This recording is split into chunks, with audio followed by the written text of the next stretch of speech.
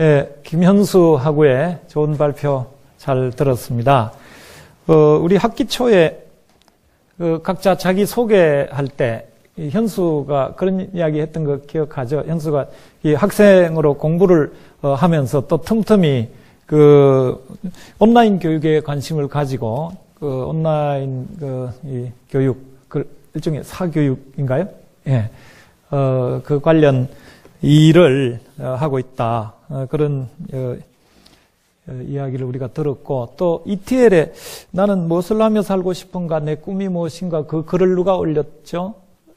어, 은지가 예, 우리 16번 은지가 예, 글을 올렸는데 어, 은지 올린 글에 대해서 많은 학우들이 예, 답글을 이렇게 올렸잖아요. 그죠?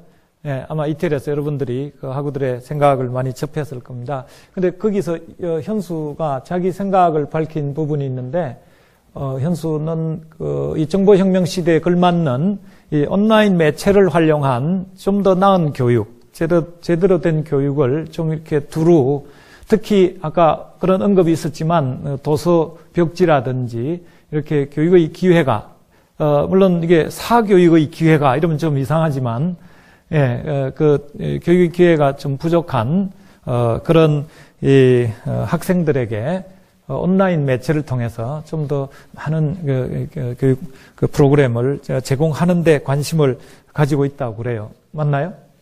예, 네, 상당히 예, 좋은 뭐 뜻을 가지고 있다고 볼 수 있는데 예, 지금부터 그래서 우리 현수가 발표한 에, 온라인 그리고 오프라인 어, 이 상이한 이 매체 또는 어떤 그 학생들과의 교육 방식 어, 접근 어, 어, 방식의 차이를 어, 우리 이, 교육을 생각하는데 어, 좀 어, 비교 교육학적인 관점으로 좀 살펴보도록 하겠습니다. 어, 여러분들 각자가 이미 이 문제에 대해서는 그 체험 당사자죠. 예, 각자 자기 자신의 체험 또는 주위의 체험들을 이렇게 진솔하게 드러내 놓고 어, 현수 어, 발표와 접목시켜 가면서 예, 그 남의 이야기가 아닌 예, 우리의 이야기를 해 보도록 어, 하겠습니다. 예, 궁금한 어, 사항이 있는 질문, 예, 남수진 먼저 하고. 예. 네, 발표 진짜 잘 들었고요.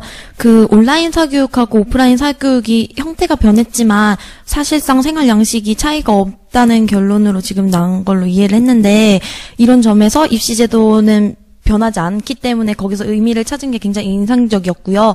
하나 궁금한 거는 이 발표 주제를 선정하는 데 있어서 발표자분께서 예상 그 기대를 하신 차이점이 있을 것 같은데 이 주제를 진행하기 전에 발표자분께서 생각하신 이 온라인 오프라인 사교육의 변화에서 생기는 그런 영향에 대해서 듣고 싶습니다.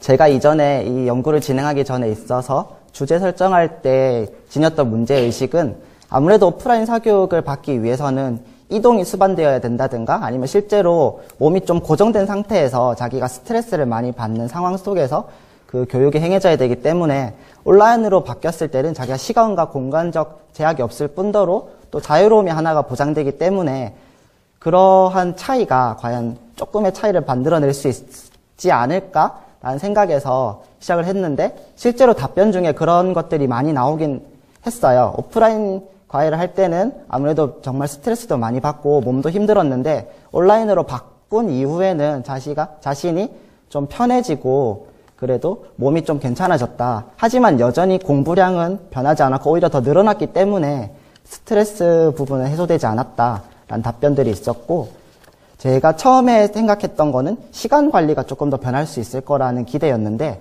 역시나 그런 것은 아무래도 제도적인 측면이 크게 바뀌지 않은 속에서는 힘든 부분이라는 것이 밝혀졌던 것 같습니다. 이번 학기에 같이 공부했던 것 중에 왜 홈스쿨링을 만나다 거기에서 일반 학교에 다니는 아이들과 홈스쿨링을 하는 아이들의 몸이 신체가 그들의 시간이 공간이 또 관계가 이렇게 달라지는 모습을 봤잖아요. 어, 그런 축은 우리 다른 모든 문제에서도 같이 좀 생각해 봐야 될 거라고 생각해요. 이제 현수가 지금 그래프를 그려서 보여줬지만 그 시간의 차이 또 지금 몸의 이야기도 했죠. 그 신체의 이동 문제라든지 어, 스트레스 문제라든지 이런 거를 어, 달았는데 어, 그런 점들을 앞으로 좀 더 천천히 살펴보면 좋겠고 아까 드보라도 손을 들었는데 드보라가 하고 그 다음에 저 인우도 예, 예 드보라 먼저 예.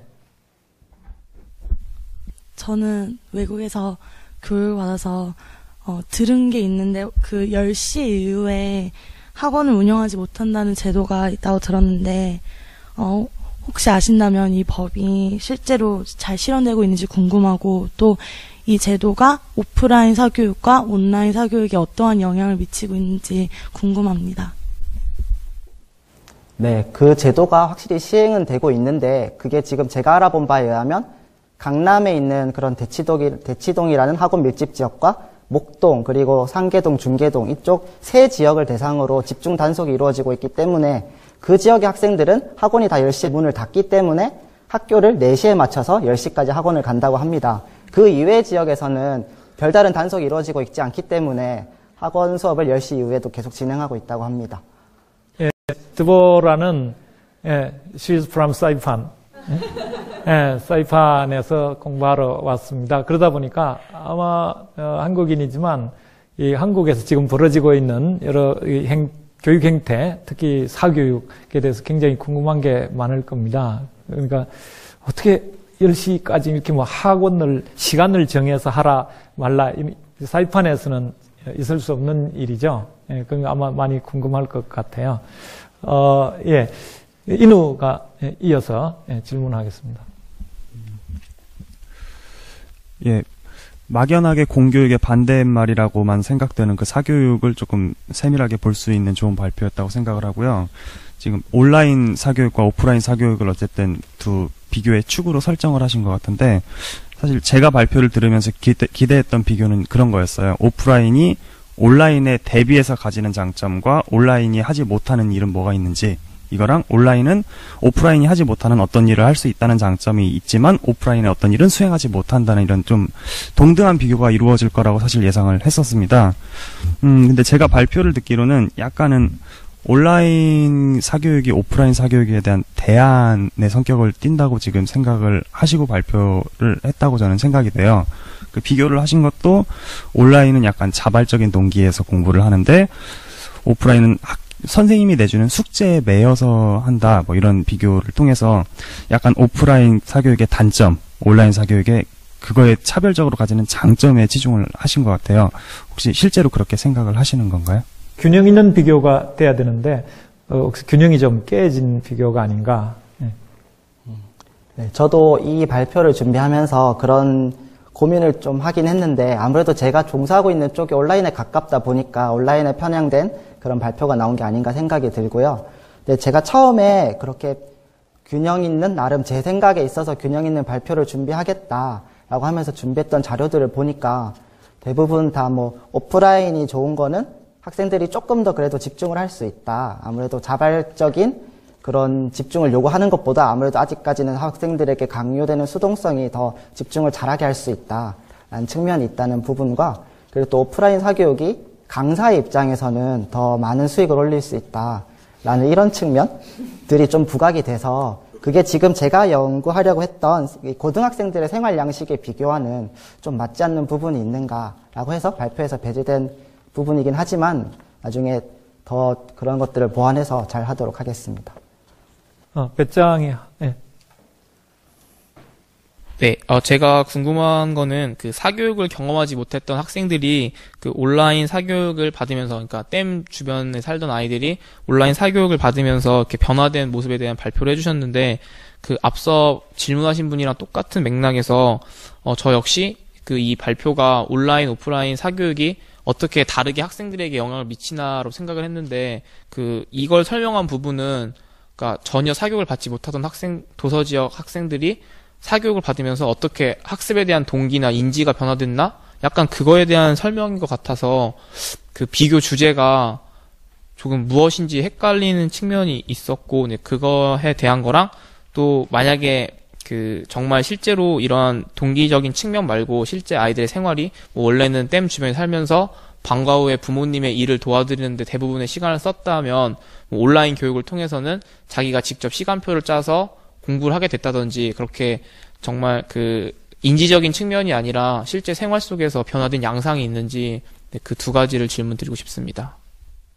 네, 실제로 그 부분에 초점을 맞췄어야 한다고 저도 생각하고요. 그래서 지금 발표가 미흡한 점 있다는 점에 대해서 저도 인식하고 있는데 일단은 그 부분에 있어서 아직 그 학생들이 명확한 답변을 다 주지 못했어요.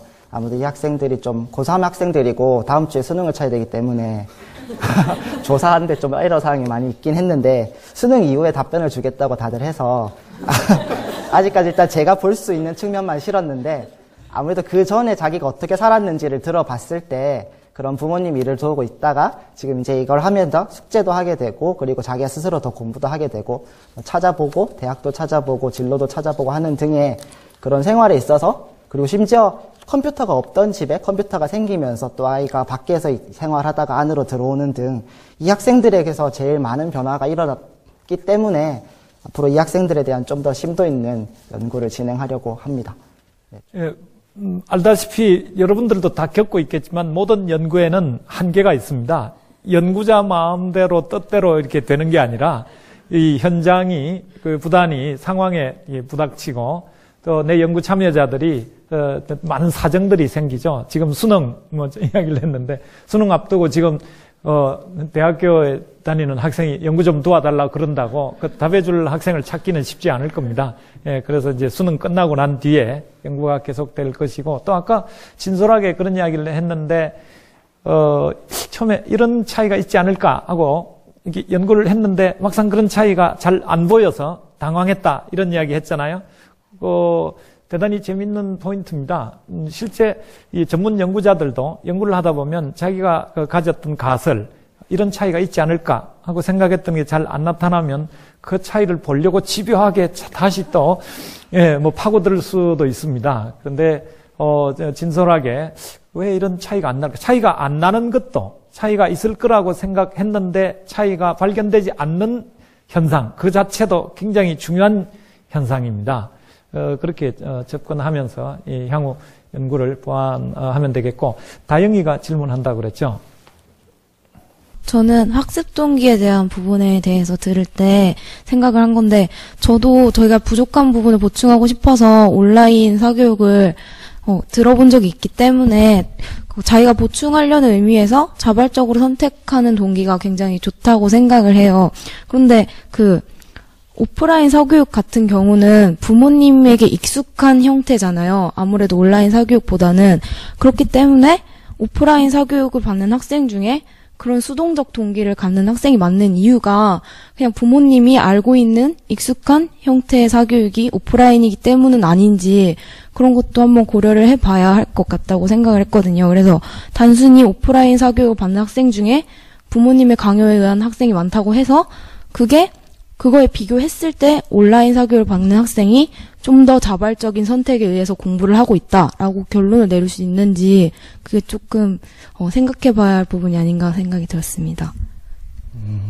네, 알겠습니다. 아, 그 말씀드리지 못한 부분이 한 부분 있었는데 이 오프라인 사교육을 받는 학생들 중에서도 아까 그 10시에 단속이 되는 그 세 지역의 학생들은 자신들이 필요한 과목들을 학원을 찾아다니면서 듣더라고요. 그 학생들은 아무래도 이런 차이가 그런 오프라인 인프라가 설치된 지역과 설치되지 못한 지역의 차이에서 벌어질 수 있는 하나의 또 차이라고 생각되고 말씀해 주셨던 부모님에게 익숙한 것과 익숙하지 않은 것의 차이도 상당히 크다고 생각되는 게 자기가 온라인으로 그런 다른 보충 공부를 하고 있음에도 불구하고 부모님은 너 왜 컴퓨터 키고 노느냐라고 말씀하시는 답변 그렇게 말씀한다는 답변도 꽤나 많이 있었기 때문에 그런 인식 그런 부모님의 인식의 차이도 분명히 존재한다고 생각합니다. 현수 이야기 들으면서는 이 소설이 생각났는데 아마 한수산 씨가 쓴, 그 쓴 소설일 거예요. 도시의 사냥꾼. 어, 마치 우리 지금 그 입시 문화 속에서 어, 먹이를 찾아 헤매는 도시의 사냥꾼처럼 이더 나은 사교육을 찾아서 어떤 제도가 차단되면 또 그 장애 속에서도 또 다른 음, 사냥을 어, 하는 예, 그런 모습들도 좀 볼 수 있는 것 같습니다. 아까 관훈이가 손들었던 것 같은데, 예, 관훈이. 제가 들었을 때 발표가 주로 그 온라인 온라인 사교육이 어떤 선택의 폭이 넓고 시 공간에 제약이 없기 때문에 그런 발생한 어떤 접근성 그리고 선택의 자율성이라든지 시간 활용 변화에 대해서 주로 말씀하신 것 같은데 어 제가 좀 궁금한 점은 어떤 교육적 관점에서 볼때 온라 어, 오프라인과 비교해서 온라인이 가진 어떤 특성에 의해서 혹시 교육에 있어서 어떤 질적이라든지 어떤 진행 방식 학생 참여에 있어서 그런 차이는 없었는지 그런 점이 좀 궁금합니다. 네, 설문 항목 중에서 학생들에게 물어봤을 때 얼마나 집중이 잘 되었느냐, 어떤 효과를 가져왔느냐 하는 항목이 있었는데 그 항목에서 학생들이 온라인으로 했을 때는 생각보다 집중하기가 너무 힘들어서 끝까지 수행하지 못하였다는 답변이 꽤나 많았습니다. 네, 또 온라인도 두 가지 부류가 있는데 단순히 인터넷으로 강의를 시청하는 부류가 한 부류 있었고 그리고 온라인으로 1대1 과외를 받는 학생들이 있었는데 앞에 인터넷 강의를 수동적으로 듣는 학생들의 경우에서는 오프라인의 강의보다 오히려 더 효과가 떨어지는 부분이 있었다라고 답한 학생들도 꽤 많았습니다. 하지만 이제 조금 더 이제 발전된 시스템에서 1대1로 화상으로 과외받는 학생들의 경우에는 집중도 잘 되었고 자기가 부족한 부분도 채울 수 있었다라는 답변들이 더 많았던 걸로 봐서 아무래도 아직까지는 그래도 이렇게 사람과 사람이 마주보고 소통하면서 하는 교육이 조금 더 효과가 있지 않을까라는 생각을 하게 되었는데 이제 그런 측면에 있어서의 변화도 알아 음, 조금 더 알아보는 게 필요할 거라고 생각이 들었습니다. 예.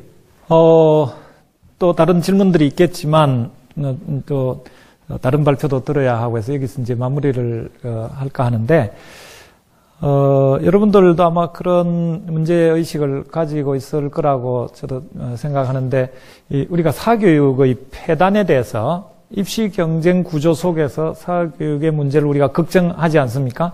근데 이 지금 그 현수의 그 과제가, 연구가, 어, 사교육 자체의 그 문제점을 어, 직시하지 않은 채 사교육이 어떤 형태로 이루어질 때의 차이점을 너무 이렇게 보는 것은 어, 문제가 좀 있을 수 있다는 거죠. 온라인 사교육이 아니라 온라인 교육이 정보혁명 시대에 맞게 어, 제대로 된 교육이 어, 좋은 교육이 도수벽지혜로 어, 또 그 여러 기- 경제적인 어, 이유나 지리적인 이유나 뭐 어, 이- 어, 이 기회를 충분히 갖지 못하는 사람들에게 고른 기회를 제공하는 건 참 좋다고 생각합니다. 그리고 공교육 자체를 오프라인으로만 할 게 아니라 온라인으로 좀 더 공교육을 어, 활성화해서 이 홈스쿨링과 어, 이렇게 접목이 가능한 집에서도 많은 시간 가정 생활을 하면서 이 지역 사회에서 이게 참여를 하면서 이 교육을 온라인으로